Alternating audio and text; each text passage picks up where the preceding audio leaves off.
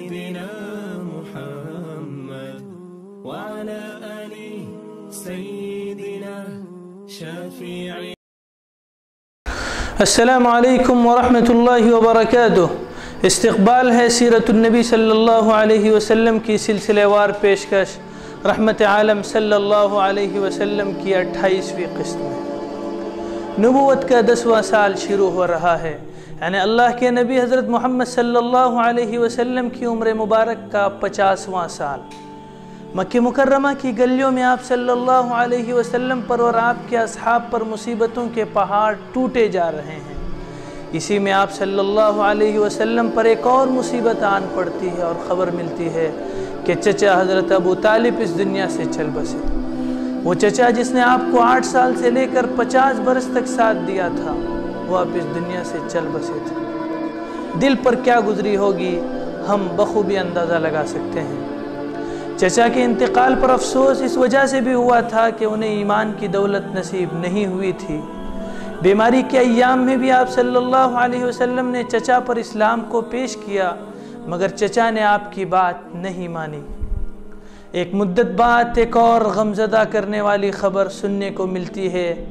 کہ سب سے پہلے ایمان لانے والی خاتون، دنیا کی ایمان لانے والیوں کی پیشوا، آپ صلی اللہ علیہ وسلم کی زوجہ، ہم سب کی ماں حضرت ختیجہ رضی اللہ عنہ اس دنیا سے چل بسی ہیں۔ یہ دونوں وہ تھے جو ٹوٹنے کے وقت ہمت دیا کرتے تھے، جو آپ کے مشن میں آپ کے ساتھ ہمیشہ کھڑے تھے اور آپ کی پرزور حمایت کیا کرتے تھے۔ اور آپ صلی اللہ علیہ وسلم امتحان کے میدان میں تنہا کر دیے گئے، تاکہ تسلی کے الزام کا یہ شوشہ کٹ جائے، مٹ جائے اور وہ کٹ گیا۔ لیکن امتحان دینے والا امتحان کے میدان میں اسی طرح ڈٹا رہا اور ان تمام حالات کے ساتھ ڈٹا ہوا تھا۔ اسی سال کو تاریخ میں عام الحزن یعنی غم کے سال سے یاد کیا جاتا ہے۔ ادھر کفار کا یہ حال تھا کہ پہلے ابو طالب کی وفات پر خوشیاں منائی اور کہنے لگے کہ ابو طالب کا منہ تھا۔ ہم محمد صلی اللہ علیہ وسلم کی تھوڑی بہت رعایت کر جاتے تھے۔ اب ان کے ساتھ کسی قسم کی رعایت، درگزر، چشم پوشی اور مروت روا نہ رکھی جائے گی۔ پھر جب حضرت ختیجہ کا انتقال ہوا تو ان کی مسرتوں میں اور اضافہ ہو گیا۔ دشمنی آدمی کو بہت تنگ دل اور بے رحم بنا دیتی ہے۔ یہاں تک کہ اپنے حریف کی پریشانی پر دکھ کی جگہ خوشی ہوتی ہے۔ ان تمام حالات کو دیکھتے ہوئے آپ صلی اللہ علیہ وسلم کے دل میں خیال آیا کہ مکے کے قریبی شہر طائف کی کسی بڑی و بااثر شخصیت کی ہمدردی و تعاون حاصل کیا جائے، جس کی بنا پر آپ کی نظر طائف پر پڑی۔ اس امید کے ساتھ کہ مکے والے نہیں سنتے شاید طائف والے سنیں مکے میں جی نہیں لگتا، شاید طائف میں لگے۔ زید بن حارثہ آزاد غلام کے سوا ساتھ کوئی بھی نہ تھا۔ حجاز کی سب سے بڑی دولت مند عورت حضرت ختیجہ رضی اللہ عنہ خود بھی جا چکی تھی۔ اور جو کچھ ان کا تھا، راہ خدا میں لٹا چکی تھی۔ سب کچھ جا چکا تھا۔ اتنا بھی باقی نہ تھا کہ آپ صلی اللہ علیہ وسلم طائف جانے کے لیے کوئی سواری ہی کرائے پر لے لیتے معمولی دو چپلوں کے سوا پائے مبارک کے لیے راستہ طے کرنے والی کوئی چیز نہ تھی۔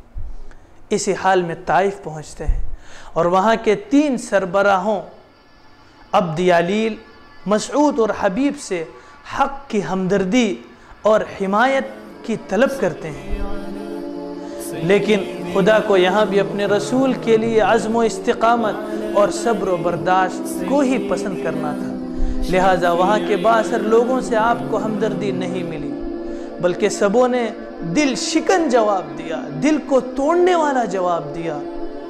ایک نے کہا، جسے سفر کے لیے ایک گھدیا بھی میسر نہیں، کیا خدا کو اس کے سوا رسول بنانے کے لیے اور کوئی نہیں ملا؟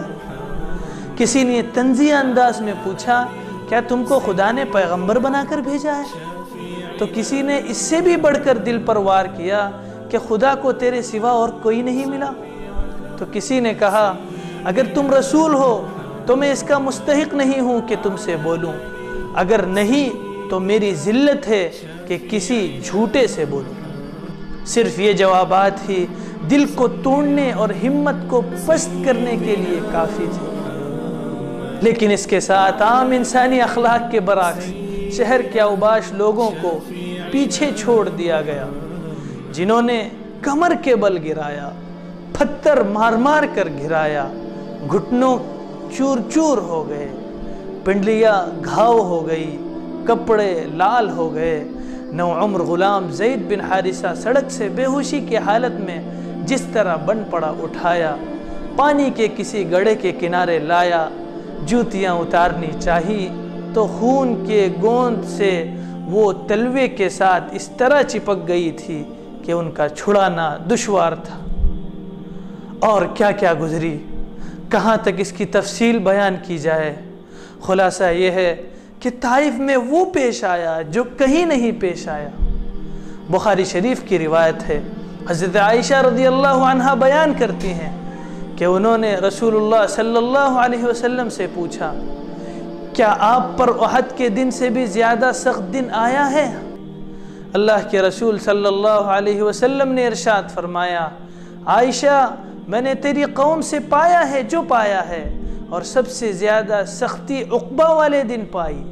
سب سے زیادہ سخت اذیت ان سے نہ ماننے والوں سے مجھے اس طائف کی گھاٹی میں پہنچی، جس دن میں نے عبد کے بیٹے پر اپنے کو پیش کیا تھا۔